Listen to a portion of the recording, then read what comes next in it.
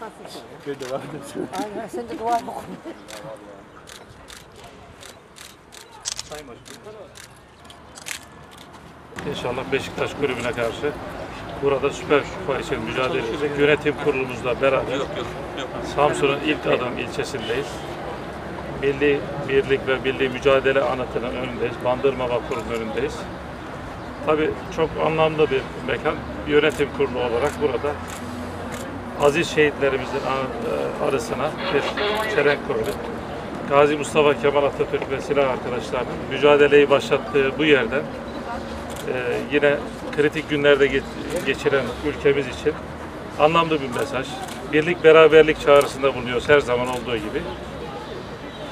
E, Konya Spor olarak da bugüne kadar sürekli zaten ülkemizin e, birlik ve beraberliğini e, çağrıştırdık. E, bu konuda Konya'mızın misyonu olarak da sevgi, barış, kardeş, hoşgörüyü sürekli dile getirdik.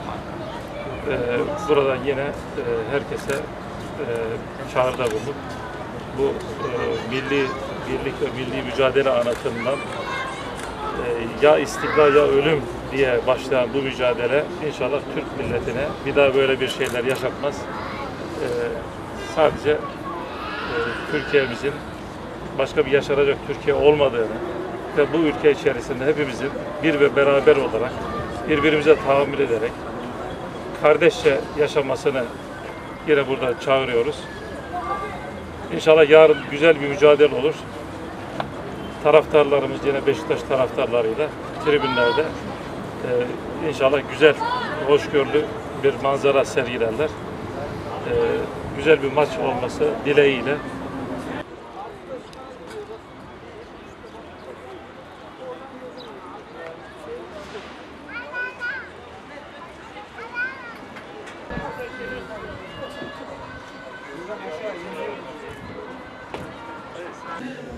Florya